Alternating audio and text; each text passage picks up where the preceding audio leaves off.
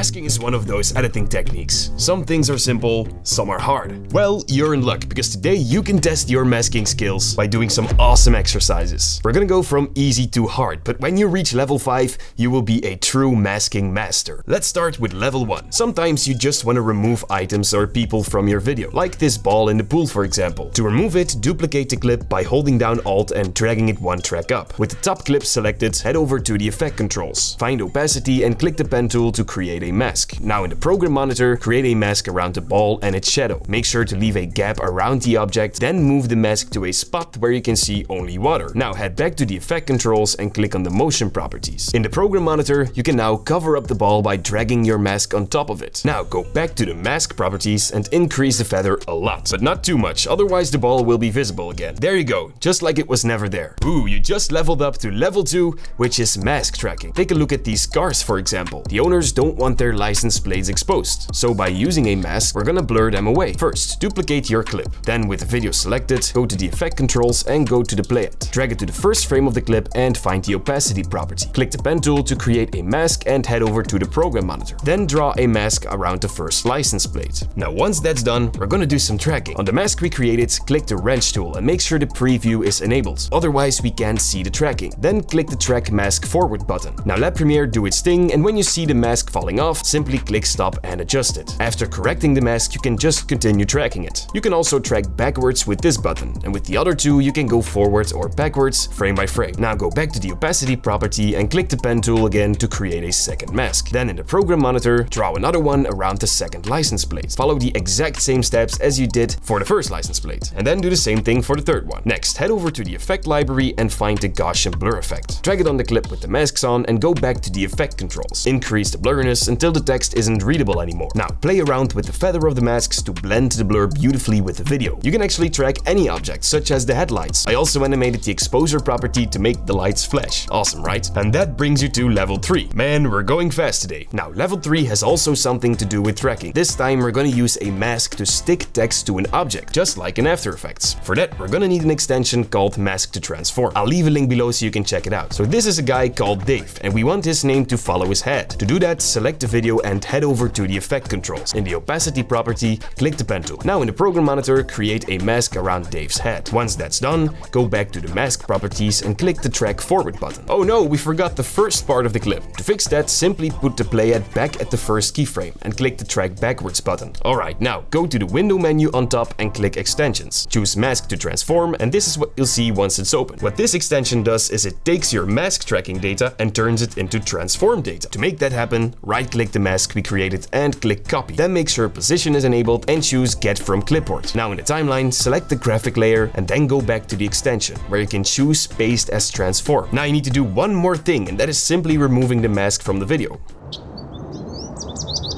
That looks awesome. By the way, I actually found these clips by using the Storyblocks plugin for Premiere Pro and After Effects. Just type in whatever you need and bam, thousands of clips that you can download instantly. When it's done, they will appear right inside the project window. There's no need to leave Premiere anymore. Oh, and also, Storyblocks is sponsoring this video. You can literally find anything you need. Premiere Pro and After Effects templates that will save you so much time, stock clips of some beautiful nature, space and planets, sports videos, actually anything you can think of. Collections of videos that match together, organized so that you don't waste any time at all. Now, all of that in HD and 4K resolution. On other stock websites, you need to pay an expensive price per clip, but on Storyblocks, you will get everything for one set price. Oh, and you can choose to pay monthly or annually. Also, don't worry about copyright strikes or licensing issues, they will take care of that. I am also super proud of our very own landing page. You guys can actually download travel clips, car crashes, and lots of other videos that we shot specifically for you. Most of them are shot in a log color profile so you won't have any issues color grading the clips. Honestly, I have never made a Premiere Basics tutorial without using the Storyblocks plugin, so I truly recommend it to any creative. So take back creative control with Storyblocks unlimited royalty-free stock library and tools today by going to storyblocks.com forward slash Premiere Basics. Or you can just click the link down below. And now it's time for level 4. We're gonna create this simple text animation. First, select the text tool and go to the program monitor. You can type in whatever you want. Then with the selection tool, simply adjust the scaling and the position to your liking. Oh, and if you want to snap it to the middle, simply hold down control while dragging the text. Next, select the video and hold down Alt. Then drag it on top of the text that duplicates it. Head over to the effect controls and click the pen tool. Then in the program monitor, draw a mask around the tower. But you only need to go precise around the right side. Then in the mask properties, click the track forward button. Once it's done, it will look like the text floats behind the tower. That looks cool already. Next, select the clip of the tower and hit Ctrl plus D. This will make the clip fade out. Do the same thing for the tower clip on top of the text. Now to make these lines appear, click the pen tool. In the program monitor, draw in a line like this. You can hold down shift to make it perfectly horizontal. Then in the effect controls, disable the fill and enable the stroke. That way you can adjust the thickness easily. Now to animate the line, we're gonna use, you guessed it, a mask. In the effect controls, click the pen tool and create a super small mask in the middle of the line. Now we can't animate the mask path because we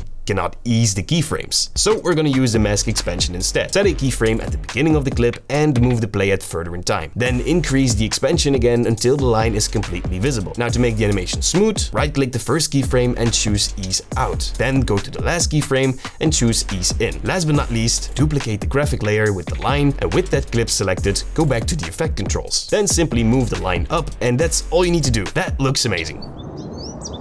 Uh-oh, here comes the final level. You're gonna learn how to blend multiple videos to go from something like this to this. Awesome, right? So here I found two clips and Storyblocks, one of some cows and one of some rocks. First, drag the rocks video on top of the cows. Then head over to the effect controls and click the motion properties. Go to the program monitor and try to match the horizon by adjusting the position properties of both clips. Next, make sure the rocks clip is selected and go back to the effect controls. Click the pen tool to create a mask and head over to the program monitor. Draw a mask around the trees and bushes to match the horizon. Also, don't forget to feather a little bit. Now it's time to match the colors. Go to the window menu on top and click on Lumetri color. With the cows selected, expand the curves cap. Scroll down to the hue vs hue curve. Here we can change an existing color. Select the greens by creating two points by simply clicking on the line. Then move the line in between these two points up and that will turn the greens more orange, just like the rocks. Then scroll a little up and in the hue vs saturation curve, click to make a selection of the orange colors. Then grab it in the middle again to increase the saturation of these colors. Now, I also found a smoke clip on Storyblocks to make the blend work even better. Go back to Lumetri and push a little orange into the smoke.